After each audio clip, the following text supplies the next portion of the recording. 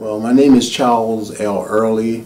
I was born in 1949 in Baltimore, Maryland, at Johns Hopkins Hospital. Uh, I spent some earlier years taken to North Carolina, which is where my family is from.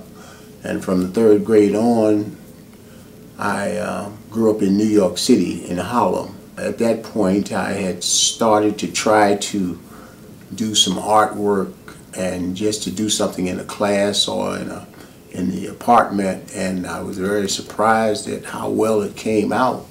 And at that point uh, in seeing what was happening uh, with no training my mother said that this is a God-given talent. And I knew that if she said something like that that that was the highest level that it could uh, be reflected at. So then I began to put more time into it and to focus on it uh, in a casual type of way, but realizing that it was something meant for me to do.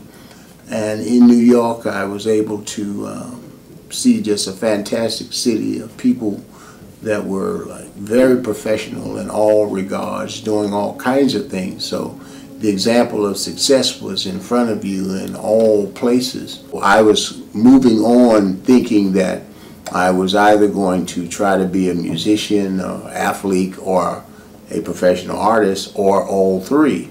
So I went to a High School of Art and Design in New York. I was lucky enough to be accepted there. I, you had to um, enter a contest to be in it and got in there and the professionalism of the students and the school was just fantastic. It was uh, it was absolutely professional. It was, uh, I went to three universities and this high school program, curriculum, and professional uh, situation was at even a higher level than all three of the universities that I went to. But it was considered to be the number one school in the world for artists. It was called High School of Art and Design on 57th Street and 2nd Avenue. It was, uh, it was an incredible place right in the heart of so much that was happening all over New York. It was so dynamic, and also I was interested in architecture. And being in New York City, which has the largest percentage of um, large, fantastic buildings, I guess, in the world, uh, you're seeing examples of tremendous architecture everywhere.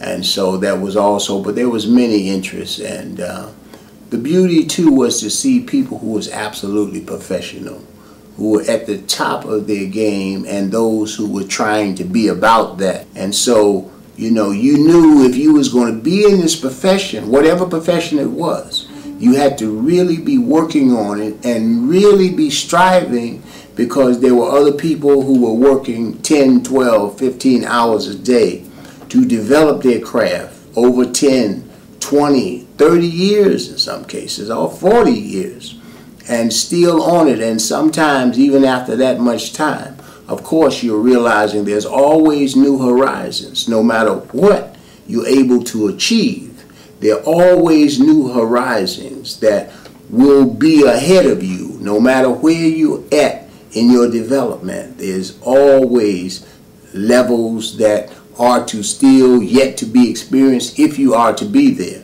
There are moments of success, and there are many of those but you're on a road that's endless when it comes to the possibilities that exist.